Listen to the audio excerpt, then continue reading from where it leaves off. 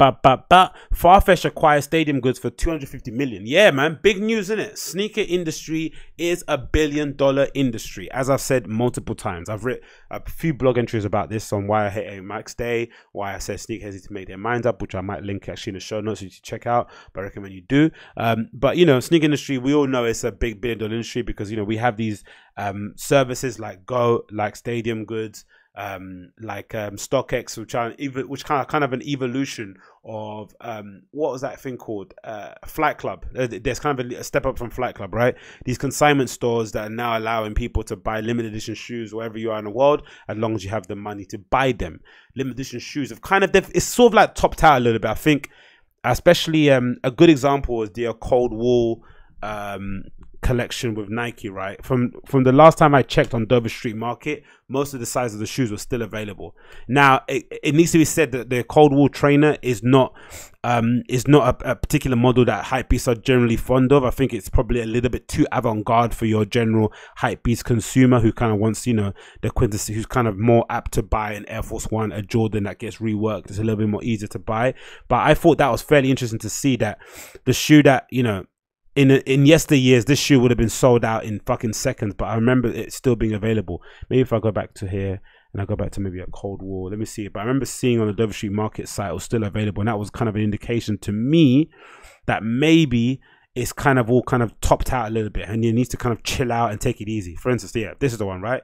So the Nike a Cold Wall uh, Zoom Vomene Vomero, right? That's a that just came out the other day. I think it's probably one of the best collections they've done so far in that whole collaboration. I think the clothes are amazing. I think what Sammy Ross did, everything is fucking cool. I thought the store installations were great. It's one of the best ones. And to be honest, as soon as I get paid, this is the shoe that I'm buying, right? So I'm not gonna, I'm not saying that it's a slight. So for me, I'm happy with it. I don't, I don't really mind that I saw that because again, I'm, I'm not really.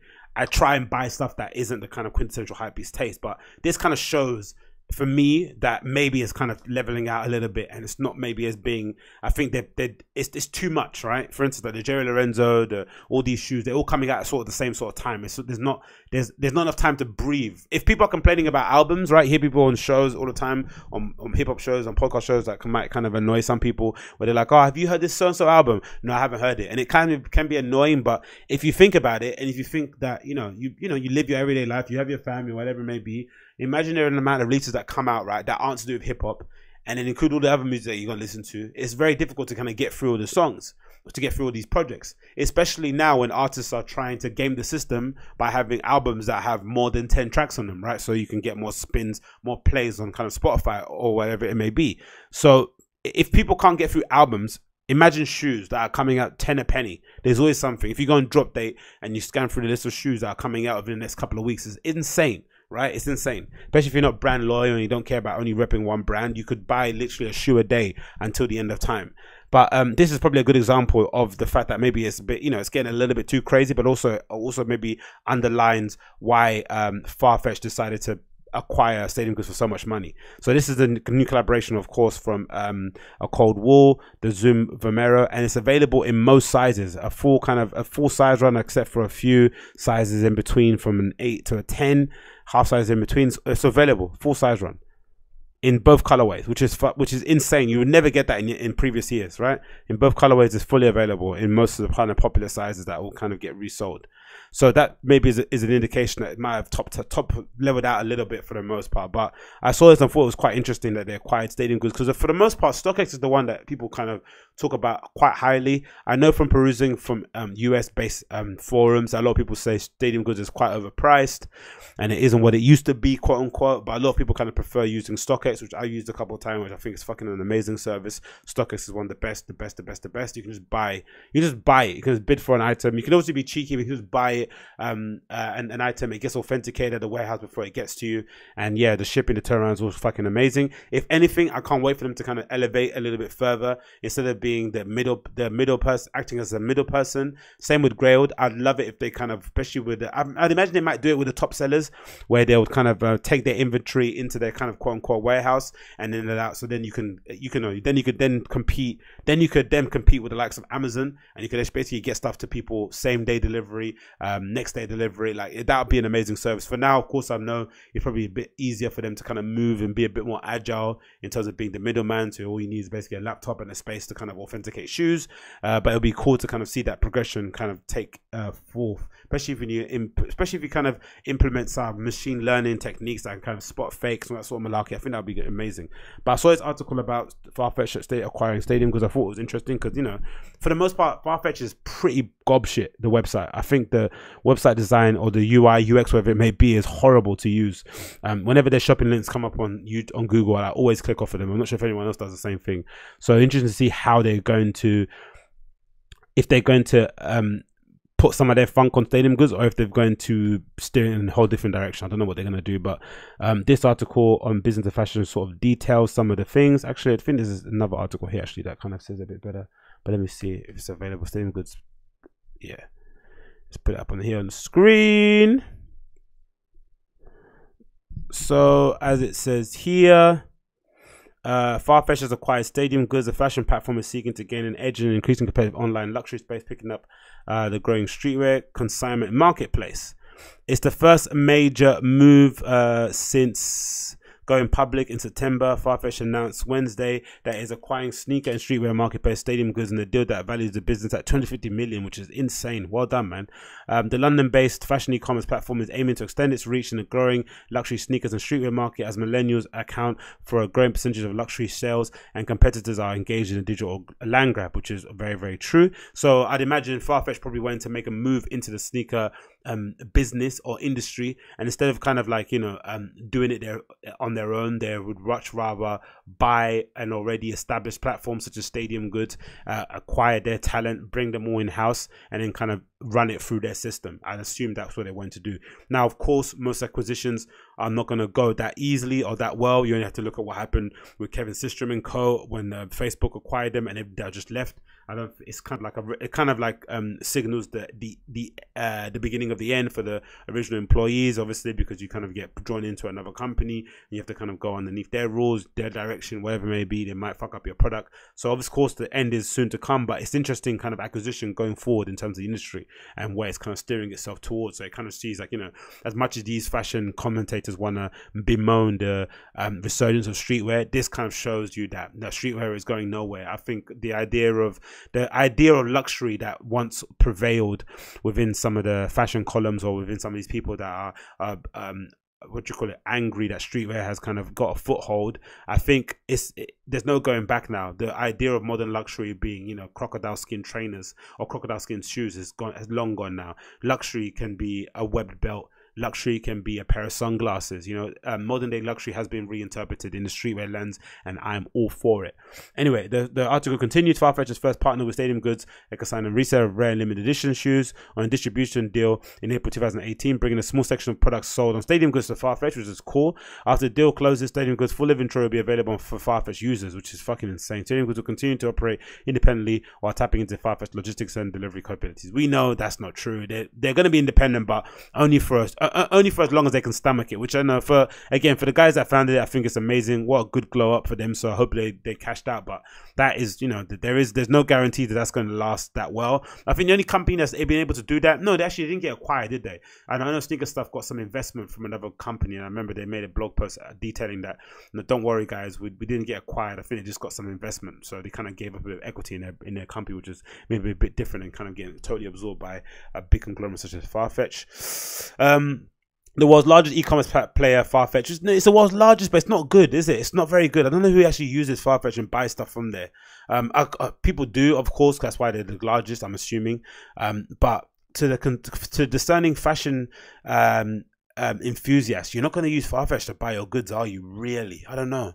Maybe it's just me. Um, uh, matches and Richemont's Yoox Net-a-Porter are locked in a race to uh, add um, new services and technologies through investments, acquisitions, and internal research and development in order to stay ahead of the pack, generate higher margins, and become the go-to platform for consumers and brands, according to BOF and McKinsey State of Fashion report, which is true because you know the the fashion bu- the buyers of the buyers of luxury or the buyers of fashion or the buyers of streetwear now they're getting younger and younger and younger. You only you only have to look at pages such as like the basement or the comments that get left in kind of you know Instagram posts on shops that update you know showing you lookbooks of images and stuff of new items that are coming into a store, and you can just gauge by the words that are used by the people that are leaving the comments if you click through their profiles that the discerning fashion customer is a young, young, young, young, young, young, young, young, young.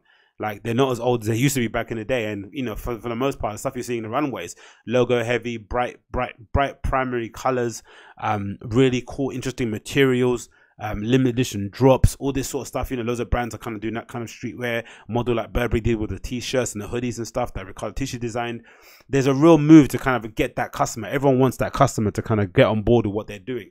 Um, so it's no surprise that some of these companies are saying, okay, let's look at our runway. Let's look at who what we got to coming up. Let's look at the things that we want to do in the next few years. And if you've got a, if you've got a kid that's going to be brand loyal to Gucci, who's 15 now, you've got a long, long time to sell him shit, right? So it makes com it makes complete sense to kind of tap into uh, a marketplace like um, Stadium Goods, where this same kid that's buying Gucci jeans or is buying the Gucci Ghost hoodie and shit is most definitely going to buy something of Stadium Goods. So you're kind of tying it all into one platform, which I kind of get, um, fully, fully understand. So yeah, th this is a big, big shift. I hope again the the founders of um um the founders of Stadium Goods here. I think they've mentioned it here actually. What do they say here? Stadium Goods co-founder and chief executive John McPheters said Farfetch international reach would be a major boost of business. Of course, So they can tap into that distribution.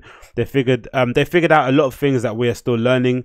Uh, said McPheters and co-founder Jed first met Neves a year ago and began the conversation that led to a deal. So it's a, it's a it's a year in the making. So yeah, that's quite cool to see again um shifting nature of sneaker industry multi-billion dollar in industry where a company like Farfetch is acquiring stadium goods for 250 million right? And yet these these companies or these brands still want to give you the illusion that these shoes are limited edition that they can only produce a certain amount yet they're churning them out um, at a flipping breakneck speed. Something has to give. Something has to give which is why sometimes some of the limited edition shoes are getting devalued because you go on StockX and especially for me I don't care because I'm not buying shit because limited. I'm buying stuff because I like it. I'm a I'm a I'm a discerning uh, sneaker head. I'm not like someone who's gonna buy stuff for the sake of it, which is some people that do do that. No problem. Not have an issue with that. But even for those people that are buying stuff that is limited and they want to buy it because there's only certain made, certain amount made of it. When you go on StockX and you can pick it up for hundred dollars uh, over retail, it kind of you know the the the mystique of it, the allure of it is kind of, you know, it kind of washes away because there's no demand for it because it's been oversaturated. You only have to look at some of the recent releases on StockX and some of them don't go for, it's, it's it, unless it's an off-white collabo, they don't even go for double what they sold for retail. And that's the standard markup that most people, resellers are kind of aiming for. Resellers argument, I think, has long and died. I think that's died away now. I think no, no one's really um consciously saying, you know, bemoaning that resellers are spoiling the sneaker industry. I think in the beginning they were. If anything, they were um giving uh brands and merchandisers the wrong impression as to what was actually popping on the streets and what was actually popular because things were just selling out and they was assuming that okay people must love this kind of model and they were, they were overbuying um, that particular model for the next season and then they were getting you know left with uh, dead stock of a particular model that was, wasn't necessarily um, on brand not wasn't necessarily trendy but might have had a bit of a spike of interest during those years.